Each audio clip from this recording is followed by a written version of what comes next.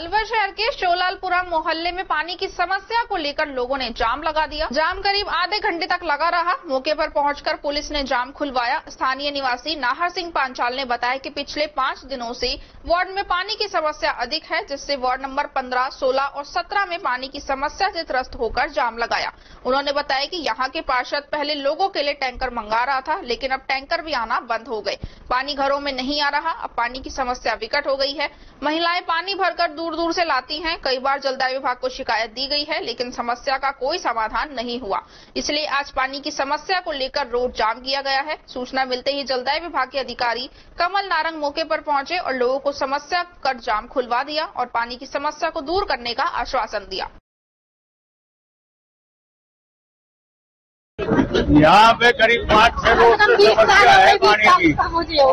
पाँच छह रोज से ज़्यादा समस्या आ रही है। टैंकर मंगा मंगा करके काम चला रहे थे। कुछ गोर सरकार भी हमारे पार्षद साहब भी है ना टैंकर मंगा रहे थे। लेकिन अब वो भी नहीं मंगाते मंगाते राहत लिए अब पानी की इतनी ज़्यादा समस्या है कि जो कि चारों तरफ़ से हाहाकार सा मचा पड़ा है।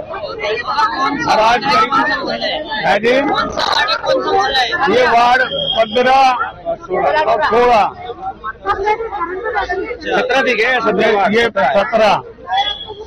कौन सा है? ये रामगंज बाज़ार और शौलालपुरा।